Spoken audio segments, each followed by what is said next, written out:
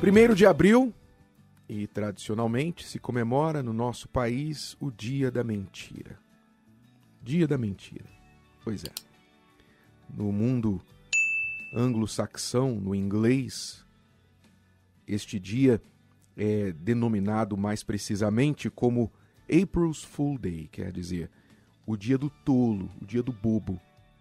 Eu acho que é muito mais preciso chamar este dia desta forma, porque só mesmo um tolo, um bobo, comemora, comemoraria a mentira, praticaria a mentira até mesmo por brincadeira.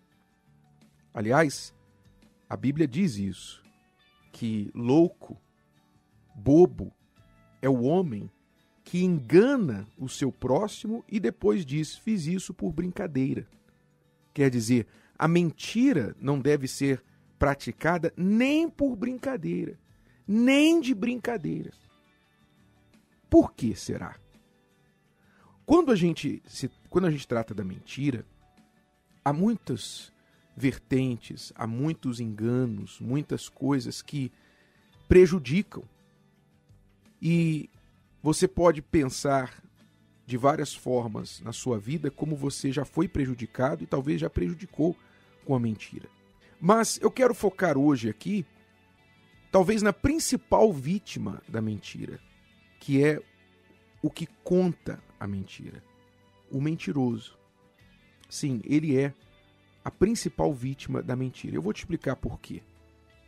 Porque o mentiroso é o que acaba perdendo mais quando conta uma mentira. Bom, primeiro porque quando o mentiroso conta uma mentira, ele está. Que ele está fazendo? Ele está usando as armas do diabo. Ele está se fazendo filho do diabo. Filho do diabo. Quer dizer, ele, por praticar a mentira, ele está fazendo a si mesmo filho de Satanás. Então ele já começa muito bem, não é? Ele já começa excelentemente bem, se fazendo filho do diabo, porque o Senhor Jesus disse que Satanás é o pai da mentira. E aquele que pratica mentira tem o diabo por pai. Então, quando você mente, você já começa com Satanás sobre você.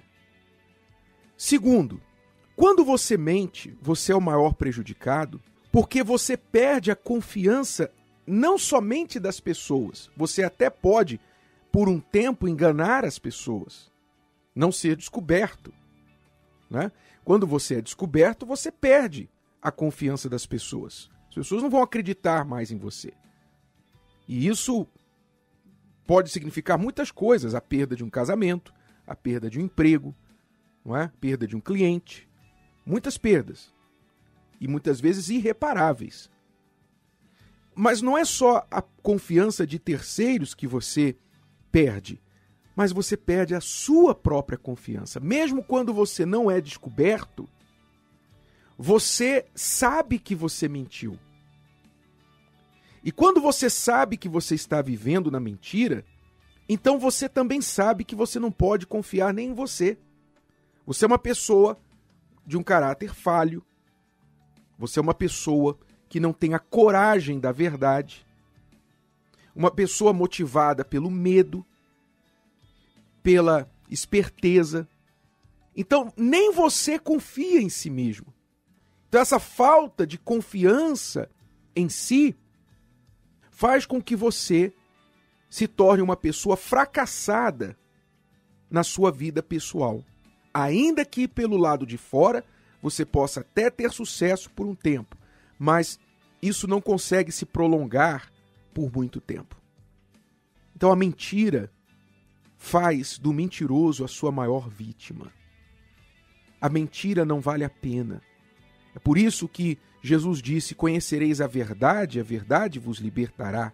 Por isso ele disse: Eu sou o caminho, a verdade e a vida, ninguém vem ao Pai senão por mim.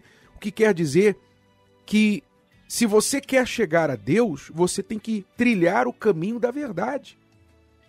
Não é pela mentira que você vai chegar a Deus, pela mentira você vai chegar ao diabo.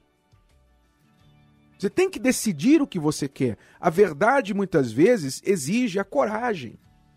E se você não for corajoso para olhar no espelho, olhar para dentro de si e ser verdadeiro primeiro com você, primeiro com você, consigo mesmo, ser verdadeiro com você, então, como você poderá chegar a Deus? Como você poderá ter suas orações respondidas? Sabe, muitas pessoas se pergunta, eu oro e por que Deus não me responde? Talvez você deva começar verificando se você tem vivido uma mentira, praticado a mentira até nas suas orações. Quantas pessoas, por exemplo, oram o Pai Nosso? Pai nosso que estás no céu, santificado seja o teu nome, mas elas não santificam o nome de Deus de forma alguma. Venha a nós o teu reino, seja feita a tua vontade, elas não estão nem aí para a vontade de Deus. O pão nosso de cada dia dá-nos hoje. Elas, isso elas querem. Né? O pão nosso, elas estão interessadas. Perdoa as nossas dívidas, como nós perdoamos aos nossos devedores. Perdoa coisa nenhuma. Guarda mágoa, está cheia de mágoa. Quer dizer, ela ora um monte de mentiras. Como que ela quer que Deus ouça essa oração? Então você quer liberdade espiritual, você quer paz de espírito, você quer sucesso na sua vida? Comece a remover a mentira da sua vida. E a mentira é muito mais perniciosa do que ela parece. Ela é perniciosa. Ela penetra na vida de uma pessoa sutilmente. São mentiras que as pessoas se contam e contam para outras. Elas vão enganando, elas vão arrumando formas de se tornarem como se fossem atores, atrizes, vão dando a impressão que são uma coisa quando você vai ver são outra.